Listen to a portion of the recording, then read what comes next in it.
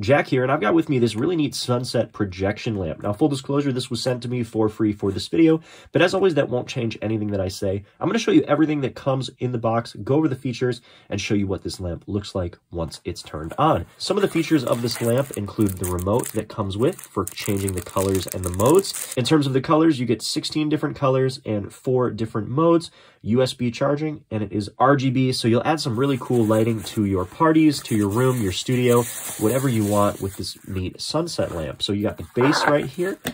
There's a little bit of a stand that kind of attaches on to the base. It does come disassembled and you'll have to put it together, but super easy. Here's the lamp itself.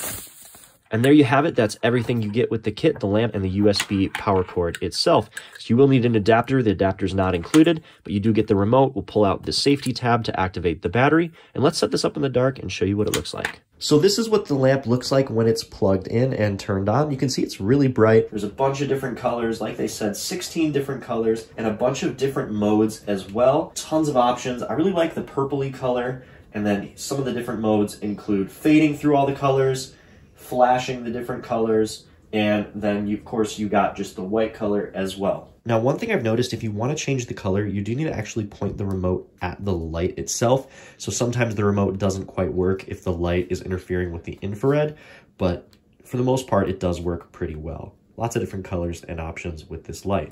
Now, one other thing to note is there is a little power button attached to the cable here.